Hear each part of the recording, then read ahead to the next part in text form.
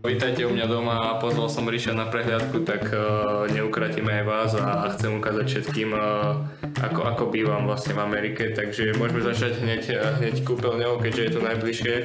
Tu sa nachádza moja obývačka, myslím si, že je to celkom fajn pre jedného človeka. Tu je kuchyňa, keďže vo, veľ, vo voľnom čase veľmi rád varím. A... No, počuj si vravať, že máš uh, upratané, ale musím povedať, že dobre, ako fajn tá krabica tam, to je nejaký, to je nejaký špeciálny nábytok, alebo... Tak, tak to je nič, čo som ešte nestihol vyhodiť a... asi mesiac, takže, takže to je v pohode. Ako si na tom v rámci tvojej chladničky, lebo chladnička vždy hovorí o človeku. A myslím, že viac než by trebalo, tak sa poďme pozrieť. Tak ja som skôr taký, že, že si nakúpim a hneď si navarím, takže, takže v tej chladničke sa nachádza dokopy nič. Sú tam nejaké, nejaké čokolády, mlieko a, a, a dva piva. Ale vidím, že tu máš eh, citróny. Tak, Veľmi to... správne. Veľmi mm. správne, dobre.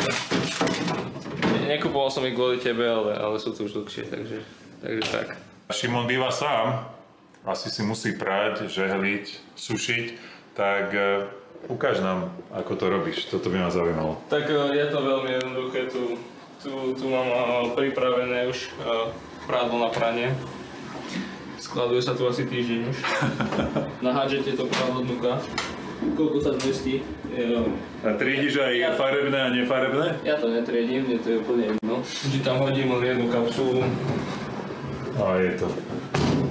No a potom nech niekto rozpráva, že chalani vedia hrať len hokej, oni sa ešte aj naučia prať, žehliť, sušiť, umývať, Jedna radosť.